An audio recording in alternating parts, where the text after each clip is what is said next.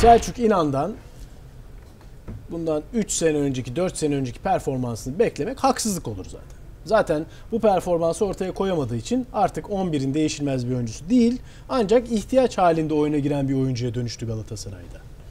Ve bunu takım kaptanı olmasına rağmen de e, kişisel olarak da bu süreci iyi geçirdi. Şu anlamda iyi geçirdi.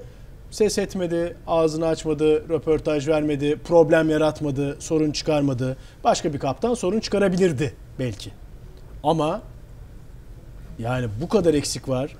Bu kadar ihtiyaç var bir oyuncuya. Ama biraz çaba. Tamam Selçuk İnan hiçbir zaman zaten çok yüksek tempolu, çok dinamik, e, çok koşu tempo mesafesi yüksek bir oyuncu olmadı zaten. Onu ama Opta verileri 8 ikili mücadele 1 kazanma. Yani 8'in 7'sini kaybetmiş yani.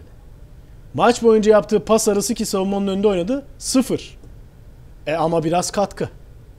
Ya bu Fatih Terim'in cümlesini ve senin oradan çıkardığın sonucu bence doğrulayan bir veri.